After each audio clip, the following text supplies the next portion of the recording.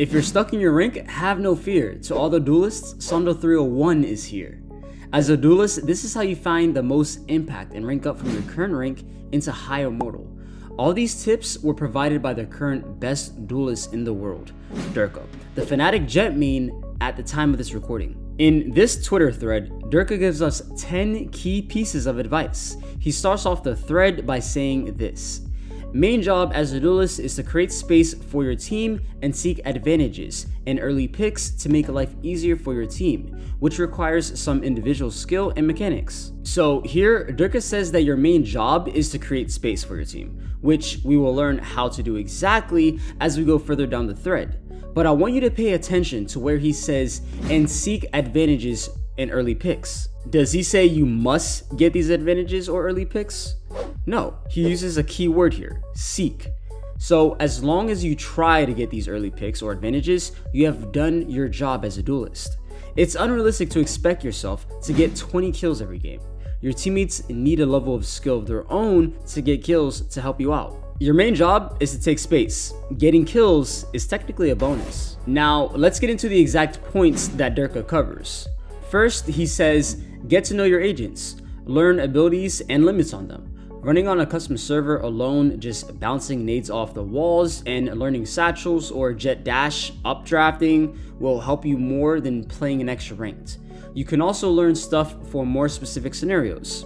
This is key, especially if you are wanting to increase your impact in your matches. I'd recommend one-tricking an agent until you hit your desired rank. This will allow you to learn this agent to its maximum potential. Secondly, he says play with your teammates. Pairing up with initiators and asking them to set you up with some utility and breaking utility for you will make your life easier. The game has lots of tools to get you an advantage. Same as for the enemies, has lots of utility to push you off. Having a duo helps. So to answer the question from earlier on how we can actually find early picks and advantages, here is your answer. Stop playing by yourself. Ask your teammates for utility and ask them to break things for you. No one can read your mind, so speak. Be a human. Thirdly, he says man advantages. If you ever get a 5 versus 4 or 3 advantage going on, you shouldn't ever go for more. Just play with your teammates and let the opponents who are in a disadvantages do something. Don't make their lives easier. Sometimes just killing smokes might win the round. So, in basic terms, don't go greeting when it's not necessary, but also don't be afraid to fight. It's good to put your team in these advantages, but once you do, be smart. Don't throw it away. Fourthly, he says, look what agents enemies play. No point going into spots where an enemy will 90% clear you with a drone, recon, dog, or prowler, and kill you unless you have someone with you to break it. Also, it's more worth for you to break info utility and reposition instead of re-peeking into the same exact angle. Again, Basically saying to use your brain, guys. Fifthly, he says be everywhere.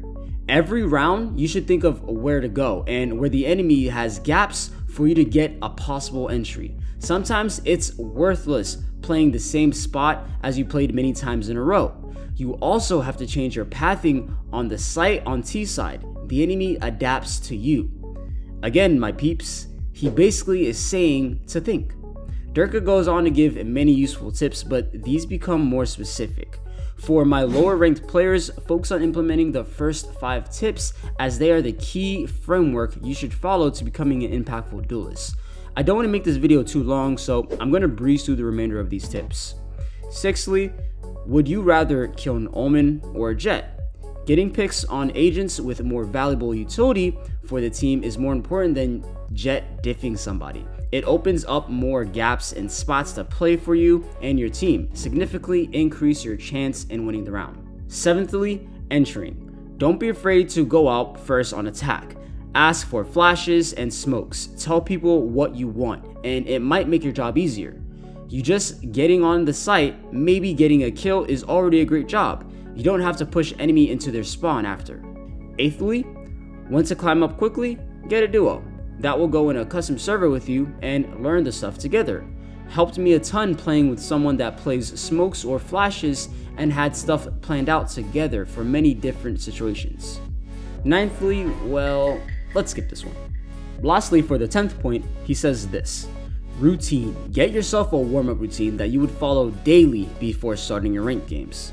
Just one simple 10 to 20 minute routine will make you much better individually and make sure you're more consistent. Even if you feel like it doesn't help, follow it for months. And if you guys need a warm up routine or a training routine, I have one here for you in my Immortal training routine video.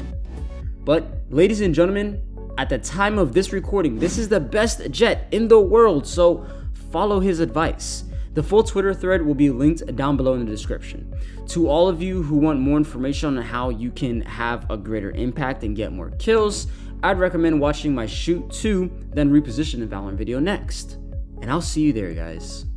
Personally, to all my Jett mains out there, I love watching Derke VODs because my playstyle and like many of you out there as well, Derke is one of the most disciplined Jetts that you can really learn from. And he's honestly one of the most easiest players to watch because he does very simple things, but they work so effectively. So watch some Derke VODs, guys, but deuce deuce.